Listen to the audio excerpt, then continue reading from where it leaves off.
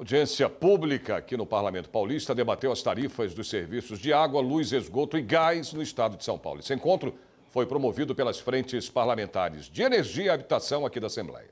Os técnicos analisaram o processo de privatização, a qualidade do serviço e a alta dos preços das tarifas em 2019. É um momento que você consegue envolver a sociedade nesse debate do preço que a sociedade paga pelas tarifas ditas como públicas. Né? No nosso entendimento, as tarifas deveriam ser públicas, portanto, ela tem que ser equidade, ter, ter ser socialmente é, possível de todos pagarem. Nós, no caso do gás, temos assim algumas propostas que já é uma antiga em relação a essa questão de tarifa, de agências reguladoras municipais para atender melhor a população, tarifa social. São propostas que a gente vem já tentando é, colocar para a sociedade e que dentro de, né, da, da, da Alesp, da Assembleia Legislativa, é provavelmente um, um importante começo. Eles também debateram a crise econômica, as tarifas sociais e como esse cenário afeta a população mais pobre em todo o estado de São Paulo. Nesse momento, nós estamos passando por um grande debate na sociedade da privatização do setor elétrico nacional, da Eletrobras. Esse governo aponta que vai pautar esse assunto, depende de mudança na legislação, mas nós estamos falando da grande geração e da grande transmissão de energia no país.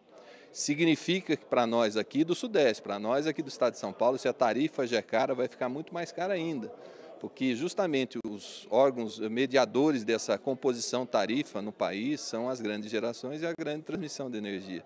Passar para a iniciativa privada, que não vai visar o bem comum, não vai visar a finalidade principal, que é distribuir, que é entregar um serviço público de qualidade e, sobretudo, um serviço essencial à vida das pessoas, que é a energia elétrica, isso vai significar, com certeza, um aumento da tarifa, ainda mais da energia, também aqui para o Estado de São Paulo. Nós tivemos uma importante participação nesse momento, debatendo com a sociedade a importância de uma Petrobras estatal eh, atuando para garantir preços acessíveis para a população como um todo.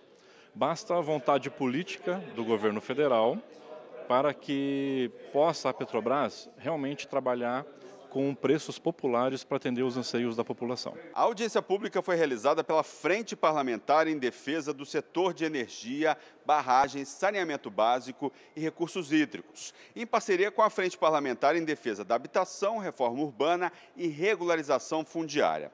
As duas frentes já promoveram outras atividades relacionadas, como a regularização energia e água nas favelas e ocupações e os serviços de água, esgoto, energia elétrica e gás nas cidades do ABC Paulista. A deputada Márcia Lia, do PT, propôs um encontro na Alesp. A importância dela é a gente discutir o que a privatização, que é um mote principal desse governo do, do Dória, né, o que ela significa na vida das pessoas.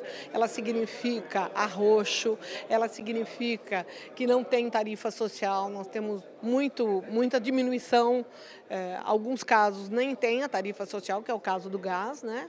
É, e outros que têm a tarifa social, essas tarifas sociais elas estão diminuídas a quase zero. Então isso, nesse momento, onde tem um desemprego alto, onde as pessoas estão passando necessidade, onde a inflação está estourando, é, onde a gente tem 40 mil pessoas vivendo na rua aqui em São Paulo, né, sem as mínimas condições de dignidade, é, a gente precisa discutir sim o preço das tarifas.